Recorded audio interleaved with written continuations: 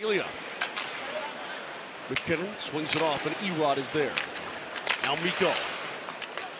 Back to MacKinnon, one timer, and a kick save by Delia. Mavs could not get to the rebound. Back to MacKinnon.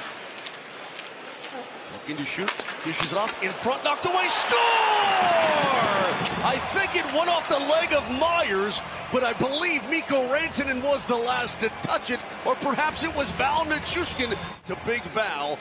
That will be his eighth of the season and his first in his return. Yeah, Big Val indeed. 11th game back since injury tonight, and this will be his first goal. But MacKinnon just seeing Compher and Chuskin down by the net, and it took him a minute to get the puck there because I think he couldn't believe how much time they had. Look at him just sitting there going, well, if they're going to leave it, I'm just going to throw it down. Compher with a one touch pass